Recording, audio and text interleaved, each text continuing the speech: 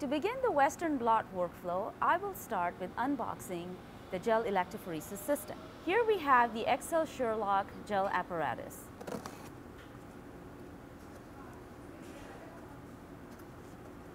Here's the manual with detailed instructions on what is included and how to use the system.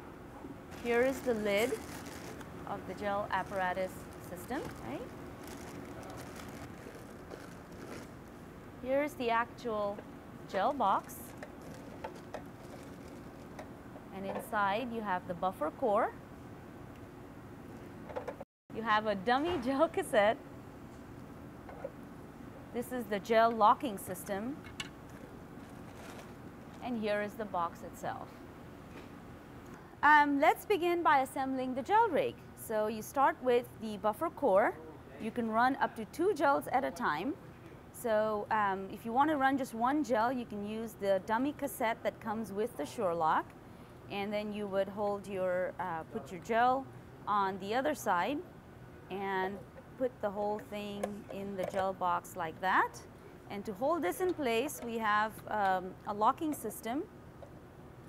And that goes in right here. And you lock it in like that. We have the NuPAGE gels. Um, these come in either the Bis-Tris, as the ones I'm showing you here, Tris acetate, or the Tris glycine gels. Um, these are really great gels. They're stable at room temperature for over a year. They give you beautiful results. Uh, you can get publication quality images every single time. So I've opened the box here, and uh, while you can get the full manual with all the detailed instructions online, um, the gels actually come, uh, do come with a quick reference card. Uh, so this is for experienced users and it's just a brief reminder of how uh, the protocol works. Um, so you get about 10 gels in a box and each is encased in a uh, plastic packaging which you would cut open um, to get the gel out. So we have the gels then and um, you will also need a protein standard. Um, and this is a really lovely product here. This is the Novex Sharp pre-stained protein standard.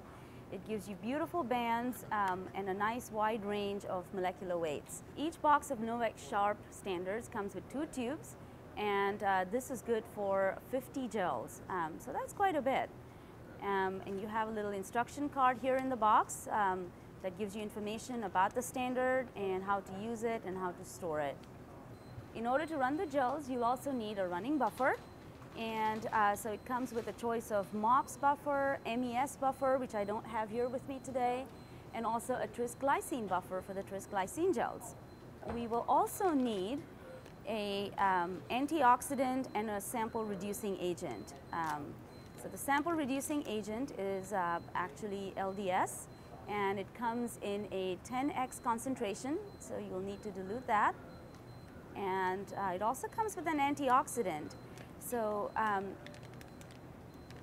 this is something you will need to add to the inner tank when you run the gel, just a small amount, about 500 microliters. And um, this will give you beautiful results um, on your gels. So today I've picked a new page Bis-Tris gel. So I've made a uh, 1x solution of the new page MES uh, buffer. So I have at least 200 ml of running buffer in the upper chamber and at least 600 ml of running buffer in the lower chamber. I'm going to begin by adding the antioxidant. So about 500 microliters into the upper chamber. There we go, mix it in really well. I have the Novex Sharp protein standards and you need about 5 to 10 microliters per lane. So let's load some of that.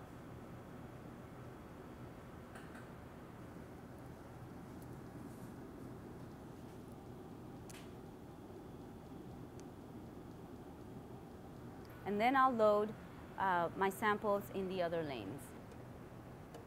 Get the lid on top, plug this into the power supply, and hit go.